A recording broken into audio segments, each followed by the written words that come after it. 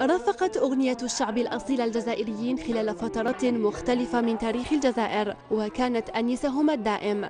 من خلال عمالقة الفن الذين ساهموا في نقل ما يعيشه المجتمع الجزائري بلغة ومعاني قصائد كبار الشيوخ. عاولوا على شباب حبوا يسكنوا النص نتاع المرحوم مصطفى التومي والأداء نتاع معناها المطرب معناها العملاق الحاج محمد العنقاء سبحان الله يا لطيف. يعني مجرد يعني حوصلة لتاريخ الشعبي بالجزائر. لطيف يا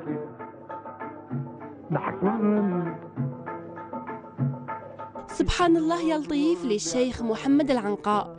يا بحر الطوفان والحمام اللي والفتو. ما اللي والفتو مشعلين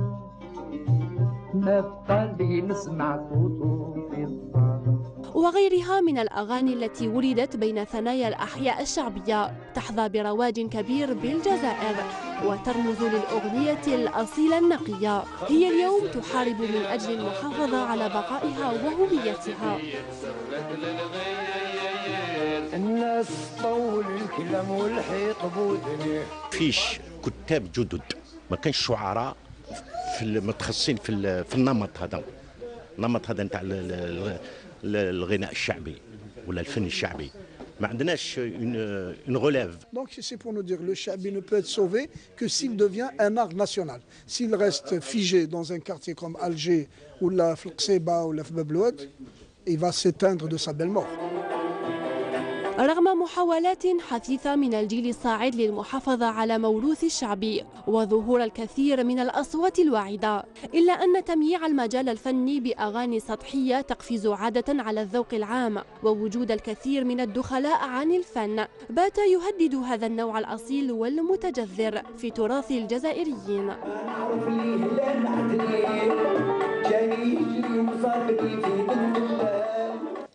إذا مشاهدينا الكرام نعود إلى البلاطو وتاريخ وواقع أغنية الشعبي باعتبارها إرث ثقافي يعود إلى طاولة النقاش الشعبي يندثر باندثار كلمات مشايخ وشعراء الجزائر في ظل غياب الخلف الحديث حول هذا الموضوع. أسعد باستضافة السيد عبد المجيد مرداسي ومؤرخ ومختص في ال- علم الاجتماع بك سيدي مرة ثانية. شكرا على الدعوة وشكرا لكم كتقديم يعني المحاضرة وما جاء حول معناكم قضية الشعبي ما قبل ما نرجع ممكن للموضوع أنا بودي نتوجه بدعوة للشفاء العاجل لفناننا معنا هو هو. روينات ومعنا تضامن مع عائلته ونتمنى يرجع ب- بسرعة إن شاء الله. للعائلة وعائلة الفن الجزائري إن شاء الله. نتمنى له الشفاء العاجل نحن بدورنا أيضا. سيدي الكريم موسيقى الشعبي ليست مجرد لون موسيقي.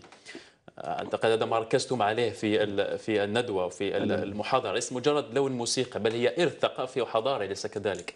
لا آه، تقريبا آه، أنا كي حاولت في, في الكتاب هذا هو المنطلق نتاعو آه، تجربة تجربة قسنطينية في فن الشعبي. والفكرة هي باذا الشعبي وارد منذ معناها عشوريات بقسنطينة وارد بمستغانم وارد بسقراس وارد بعنابة ببجاية بنضرومة.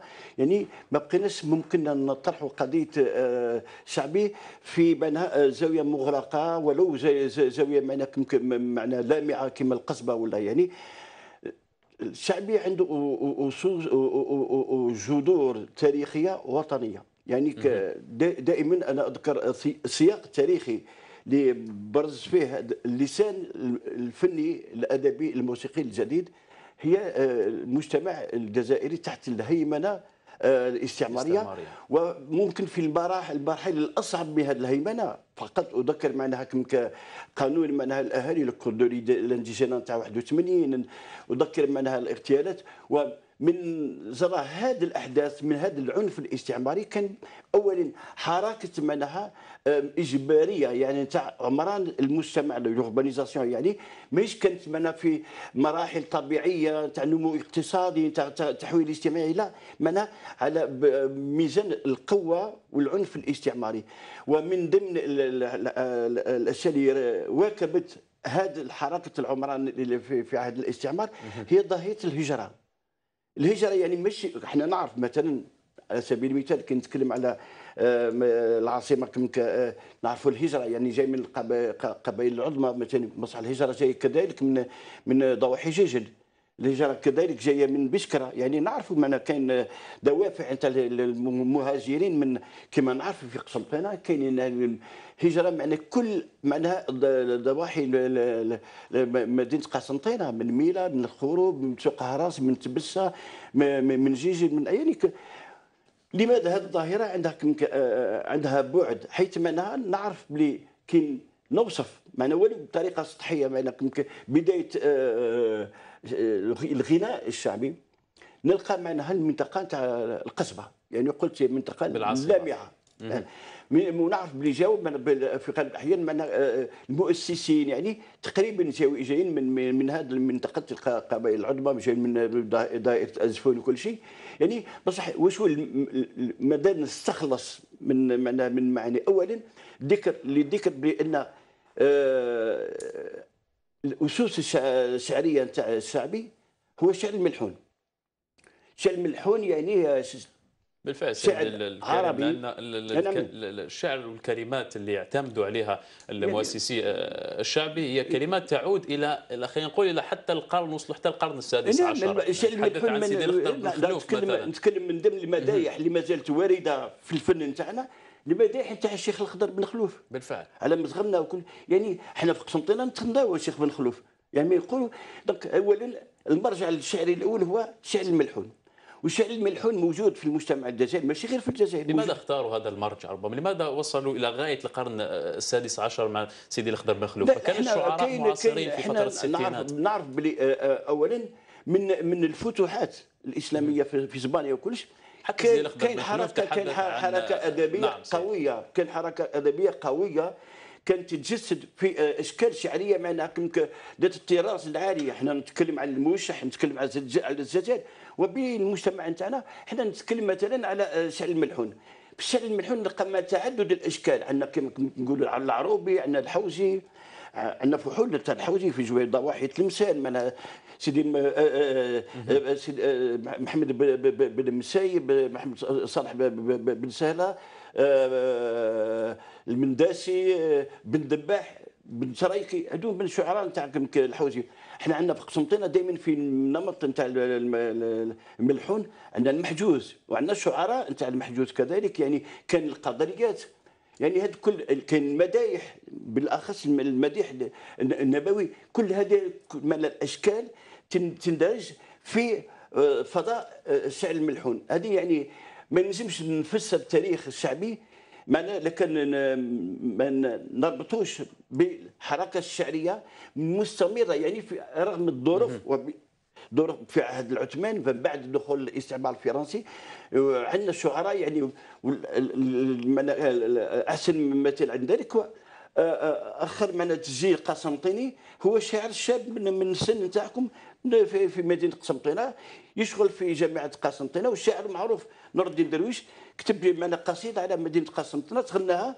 ولحنها مغني محمد حمدي والشاب كيف كيف. نتاع زايد في الستينات. نعم، بالحديث آه. نبقى فقط في هذا آه. الموضوع نعرف بأن الشعبي حتى في بداياته إلى اليوم اعتمد اعتماد وثيق على الشعر الملحون ليعود إلى آه، فحول الشعر في آه، نعم. الجزائر اليوم خلينا نتحدث بعد سنوات الستينات السبعينات الثمانينات بروز اسماء عفوا نعم لا، الأخ الكريم كي نتكلم على الشعر الملحون والبدايات نتاع الشعبي لازم نذكر خاطر هذا من الواقع نتاع التاريخ نتاع الشعبي بأن الاعتماد الأول هو على المديح النبوي.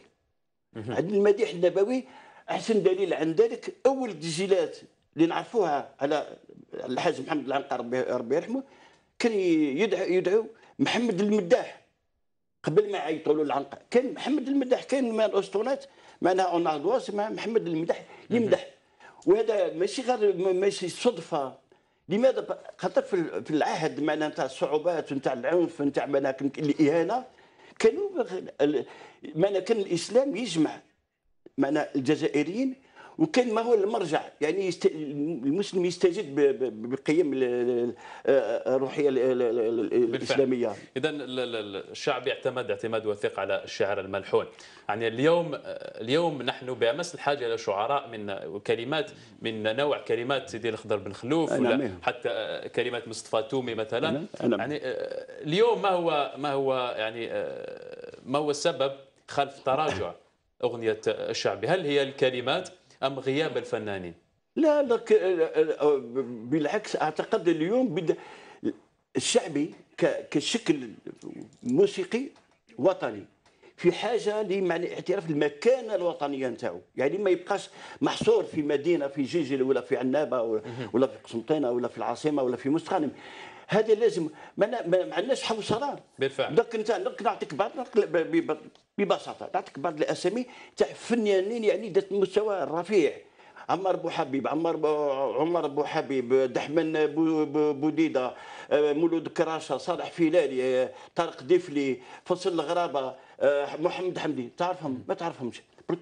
الفن نتاعهم فن أصيل وذات مستوى بصح. لماذا؟ ما كانش فضاء اللي يسمح للجزائري. يتفاعل مع الشعبي نتاع مستخانم. هاو درك على سبيل المثال ذكرنا فنان تاع مستخانم ندعي له بالرحمة توفى عنده عنده أسبوع في الخفاء. واحد ما سمع به فربما الأهل نتاعو الأقارب في مستخانم. بصح هذا فنان جزائري. فنان معنا الجزائريين كلهم عندهم حق فيه وعندهم حق يبكيوا عليه ويترحموا عليه. يعني رانا في هذا الوضع. بالفعل سيدي الكريم وصلت الفكرة وشكرا جزيلا لك لوجودك معنا. أكيد فن من حجم الشعبي يستحق وقت أكثر. أكيد, أكيد. نخص له آه، حيز ش- آخر. شكرا جزيلا لك لوجودك معنا اليوم. شكرا على دعوانك دائما في أتم الاستعداد بأن ندافع على التراث من الثقافي الوطني